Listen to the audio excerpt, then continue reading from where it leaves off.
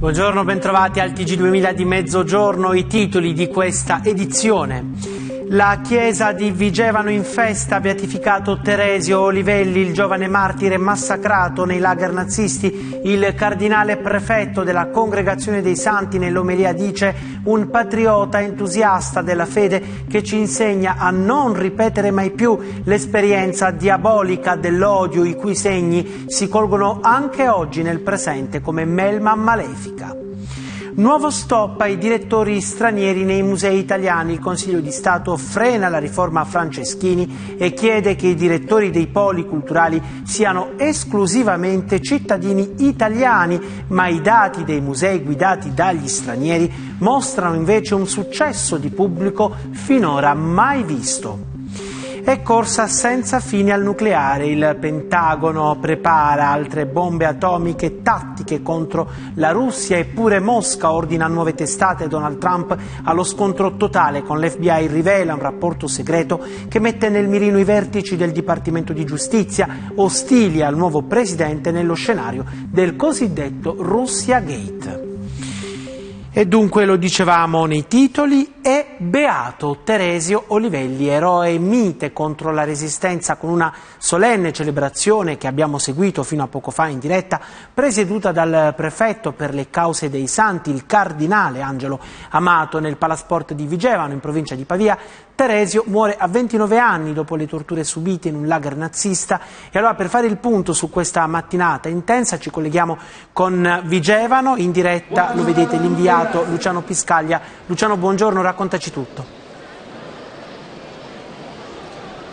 Buongiorno, buongiorno da Vigevano dove è terminata da pochi minuti la cerimonia di beatificazione di Teresio Olivelli, una cerimonia che è stata presieduta dal prefetto della Congregazione per la Cause dei Santi, il cardinale Angelo Amato, che ha sottolineato l'attualità della figura di Olivelli accostando il nuovo beato e martire ai 215 milioni di cristiani ancora oggi perseguitati nel mondo presenti circa 4.000 persone, più di 30 i pullman arrivati fin dal primissimo mattino, e presenti anche numerosi gruppi di alpini e di ex partigiani e accanto ai familiari anche i dirigenti di Azione Cattolica e Fuci. Teresio Olivelli infatti, beato per la santità di vita e il martirio subito in un campo di concentramento eh, nazista, fu membro della Fuci e alpino della Brigata Tridentina durante la Seconda Guerra Mondiale. Dal 1943 partecipò alla resistenza cattolica contro il nazifascismo cristianesimo ed è sua la famosa preghiera del partigiano intitolata Ribelli per amore.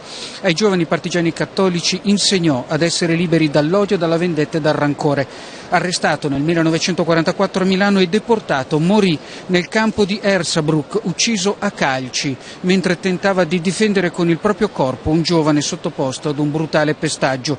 Un ultimo gesto di carità e di testimonianza, ma non l'unico non l'unico perché eh, Teresio Livelli si spese sempre a favore dei compagni di prigionia, curandoli, confortandoli e offrendo anche loro il poco cibo che aveva. Come testimonia Venanzio Gibillini, che abbiamo incontrato questa mattina prima della celebrazione, lui conobbe Teresio Livelli nel campo di concentramento di Fossenburg. Ascoltiamo le sue parole al termine la linea tornerà allo studio ho un ricordo di Tereso Livelli, ho un ricordo stupendo perché Tereso Livelli per noi sopravvissuti al lager era già beatificato dopo la guerra. Le, l'ultima violenza l'hanno ucciso a pedate a Esbrook, il, il sottocampo di Flossenburg.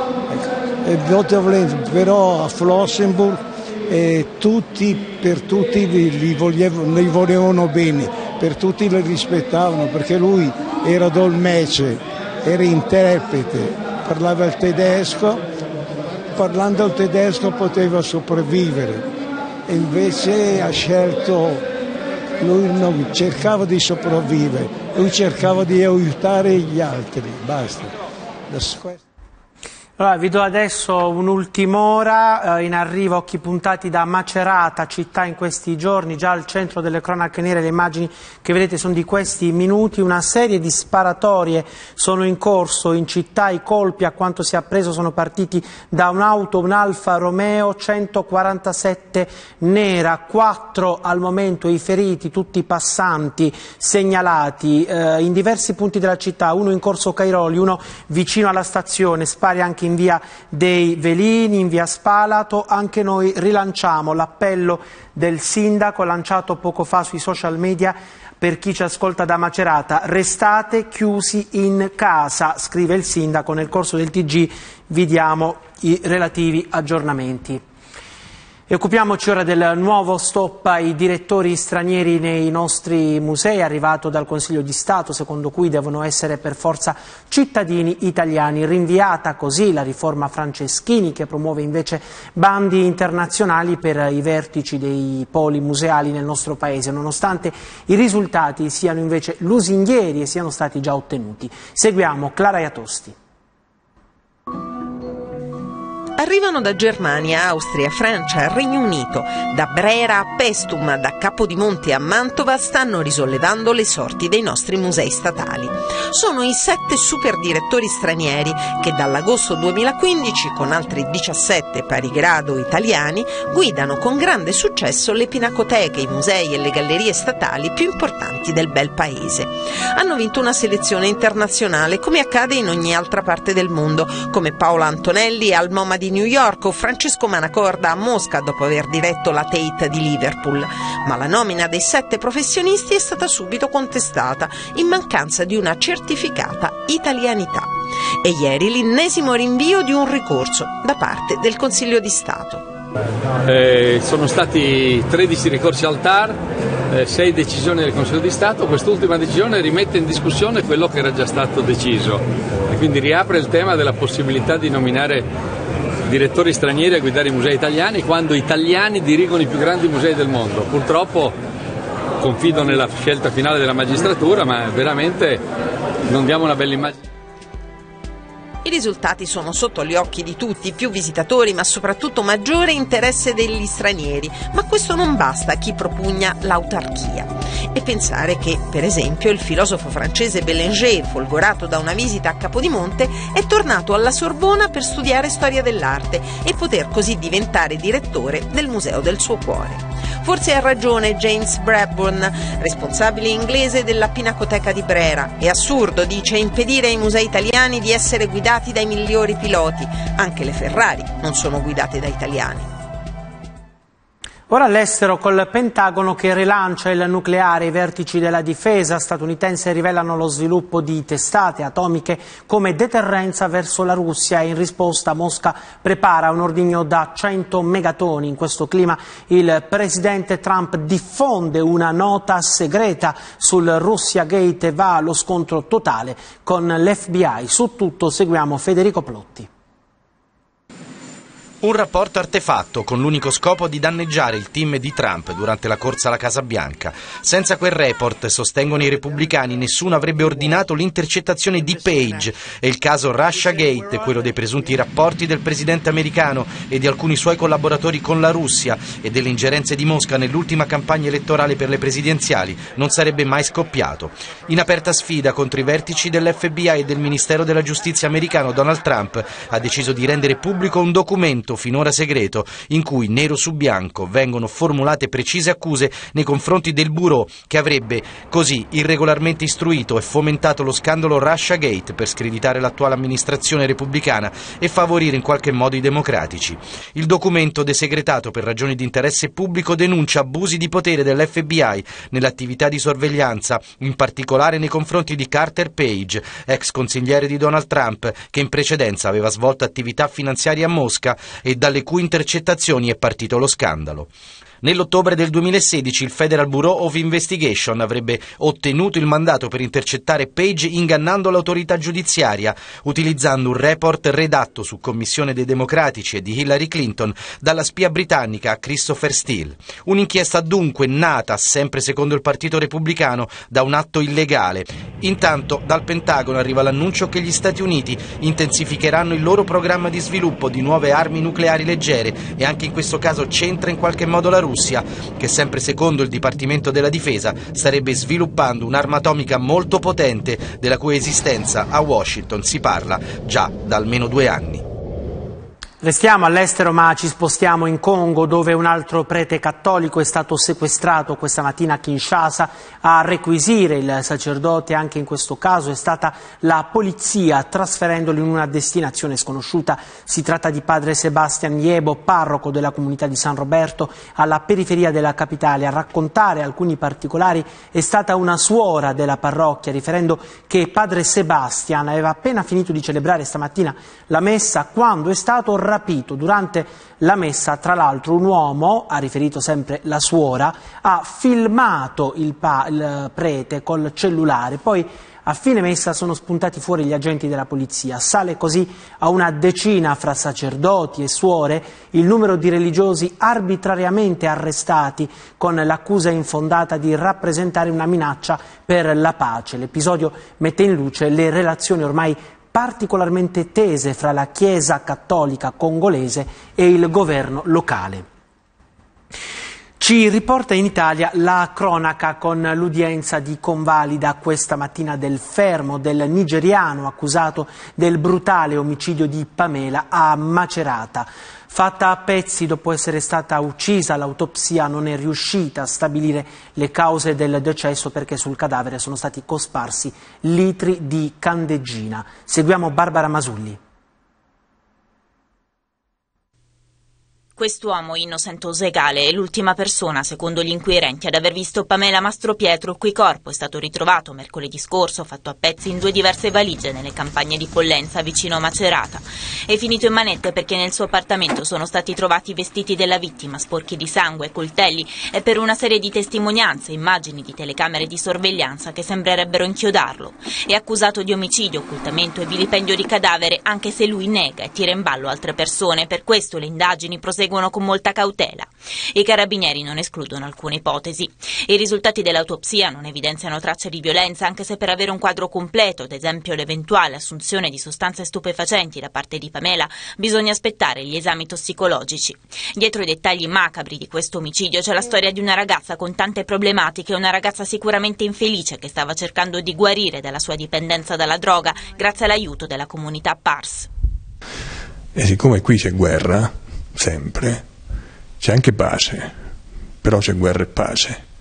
Non è che c'è, non, non c'è la narcosi, non c'è, non c'è, il tentativo di ehm, rendere artificiale la vita. Eh, noi siamo nella realtà e la realtà è dura, molto dura, perché la gente che arriva qui a causa dell'uso di sostanze di ogni tipo è devastata Martedì mattina Pamela si è allontanata dalla comunità, era maggiorenne e poteva farlo nonostante i tentativi degli operatori di trattenerla o quantomeno di accompagnarla alla stazione. La tensione è tanta, i ragazzi ne soffrono e gli uomini siano capaci di queste mostruosità dice che l'uomo ha perduto il significato dell'essere uomo.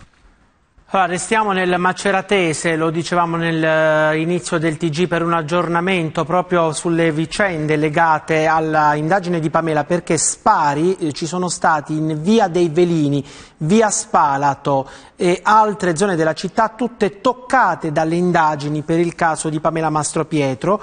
Eh, occhi puntati dunque sulla città, una serie di sparatorie, i colpi sarebbero partiti da un uomo solo, stando a quanto riferisce il sindaco alla guida di un Alfa Romeo 147 eh, nera. Il sindaco Romano Carancini invita tutti a restare chiusi in casa o negli uffici, nei luoghi di lavoro, sospese le corse degli autobus, fermi gli scuolabus e eh, eh, secondo fonti di eh, stampa da verificare eh, sarebbero tutte straniere le quattro vittime di quest'uomo armato che eh, gira per la città di Macerata.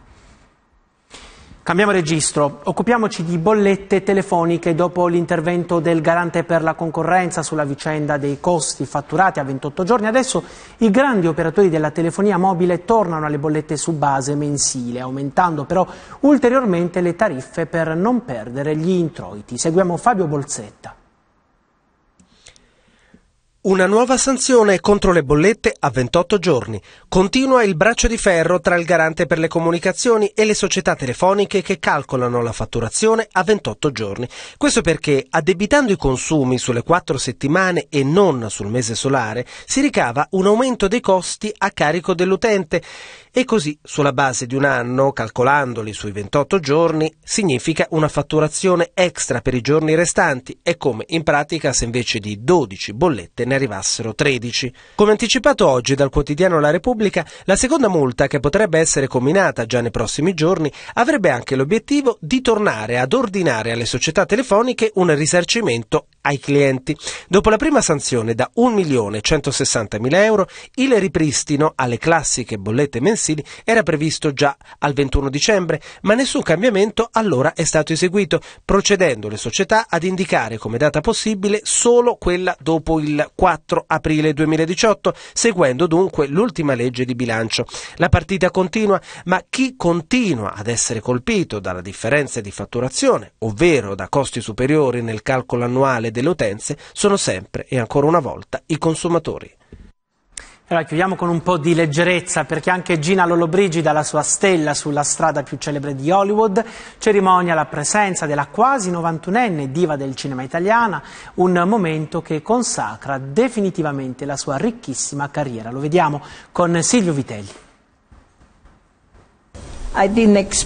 È una Gina Lollobrigida incredula, quella che alla soglia dei 91 anni con oltre 60 film all'attivo è volata ad Hollywood per inaugurare la sua stella sulla celebre Hall of Fame. È la numero 2628 e si aggiunge a quelle di altri italiani che hanno reso il cinema nostrano celebre nel mondo. Sofia Loren, Anna Magnani, Rodolfo Valentino, Bernardo Bertolucci ed Ennio Morricone una delle attrici simbolo del dopoguerra italiano, l'esordio nel 46, sette anni dopo il successo nei panni della bersagliera in Pane, Amore e Fantasia.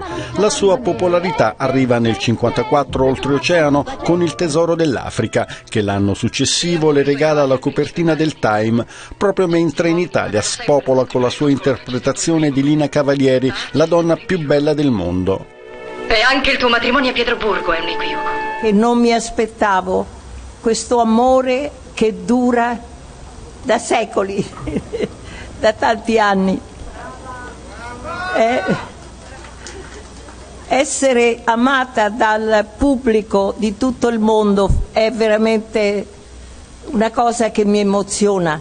È vero che ha fatto lei l'abito che indossa? Le hanno chiesto. La risposta di Gina è fulminea. Certo che ci vuole. Io disegno attrice, cantante, scultrice, fotografa e ora anche stilista. È tutto, prossima edizione del TG 2000 questa sera alle 18.30. Grazie per averci seguiti, buon fine settimana, arrivederci.